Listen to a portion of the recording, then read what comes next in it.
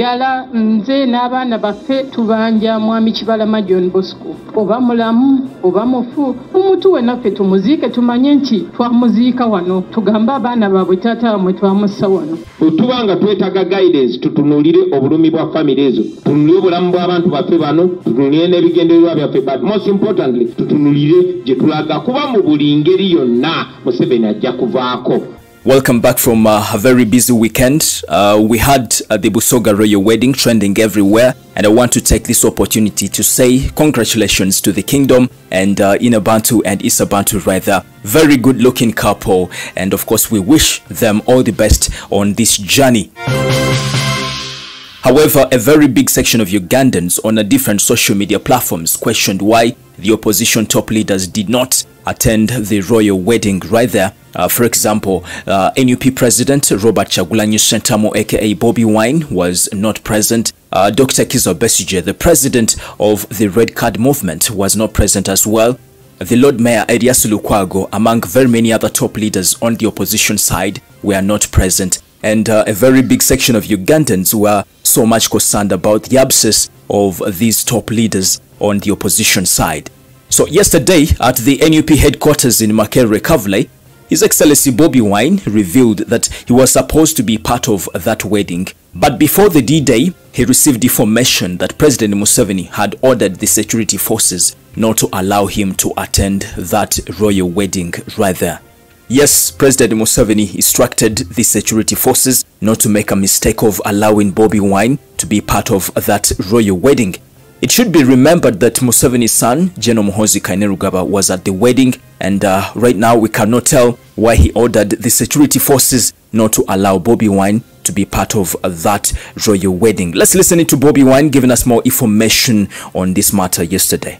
twebaza kubanga katukiro wa busoga yali yampita ne timu yange publicly nga bwe mwalaba era nabadde siri mu ggwanga naye namikize shuwa nkomawo nga kumi na musanvu ekiro kumi na musanvu nga bukyali nsobole okwetaba ku mukolo ogwo. Naye kusaawa envanyuma nategezeddwa nti mwami museveni ne security ne mutabani we bataddewo woda nti siina kubeera ku mukolo ogwo era nga bwe mwalabye saabaddeyo naye era tugenda mu maaso n'okuyozayoza abagole baffe n'okubagaliza obufumbo obw'ekitiibwa. Nansubiddwa nnyo naate nonguze suuti yange empya naye bano nagende busoga nja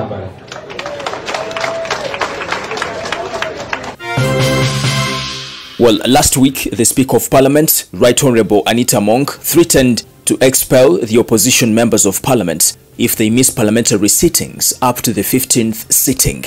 Now, Bobi Wine at the NUP headquarters in Makerere Kavule yesterday said opposition members of parliament are not in parliament on Anita Among's invitation. It is not Anita Among who voted them to parliament, but the people of Uganda. Njagala okutegeeza temuli mu paliamenti ku invitation ya nita mongo si yabayita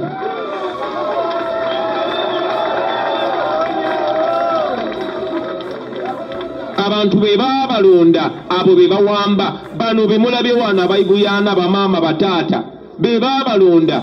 Era babalonda kutuusa ddoboozi ly'abo abantu. Well, it should be remembered that uh, the leader of opposition, Right Honorable Mathas Mbuga, last week also responded to Anita Among that let her first expel some members of the cabinet, the likes of uh, General Kahinda Otafiire, the Minister for Internal Affairs, Janet Kataaha Museveni, the Minister for Education and Sports, who is also President Museveni's wife. He said these ones, among others, never attend parliamentary sittings. So before expelling the opposition members of parliament who are demanding for the release of the missing Ugandans, let her first expel those members of the cabinet who never attend parliamentary sittings without any notice. Well, yesterday at the NUP headquarters in Makerere Kavle, the relatives of uh, the missing Ugandans were present and uh, they are still demanding for the release of their missing people. aya abaana abasatu bali kuumena tiri basobola noonya bwenkanya eri omwana wange eyattibwa era sigenda kugwamu maanyi nina okubeera nga nfuna obwenkanya. Omwana wange bwe yali omuyambi gwange baisi babawe baafa nga bakaali bato. Mwana wange yandekera abaana ndikubonaabona n'abaana. Ndikubonaabona n'abaana. Ziranamba ziramaani. Nkyayenza obaana bangu mwana wange okubula nga tidi yaali gavumenti tusigala nze n'abaana baffe tubanja mwami kibalama john bosco. Oba mulamu oba mufu mumutuwe naffe tumuziike tumanye nti twamuziika wano. Tugambe abaana baabwe taata wamwe twamussa wano. Bwetuba nga twetaaga guidance tutunulire obulumi bwa famire ezo. Tutunulire obulamu bw'abantu baffe bano tutunulire n'ebigendererwa byaffe. But most importantly tutunulire gye tulaga kuba mu buli ngeri yonna museveni ajja kuvaako. Well, there you go. That is uh, the latest update I have for you right here on the Buzz UG from the weekend. My name is uh, Melad Milo, aka Fula, and uh, if you have anything on your mind, you want to say about this story, the comment section is very open for you. But don't forget to subscribe in case you haven't, and also tap on the bell for all the notifications. But also follow me on TikTok, uh, Melad Milo, aka Fula. It is a bye for now. Thank you.